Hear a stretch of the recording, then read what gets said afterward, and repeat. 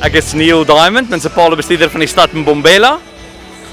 En uh ek sien verskriklik uit na hierdie jaar se in die bos, na al die wonderlike feesvieringe, na die Bosmol, uh na die lekker kos en na al die kunstenaars wat hierdie jaar na in die bos toe kom. In die bos 26 tot 29 Junie Bombela Nelspruit.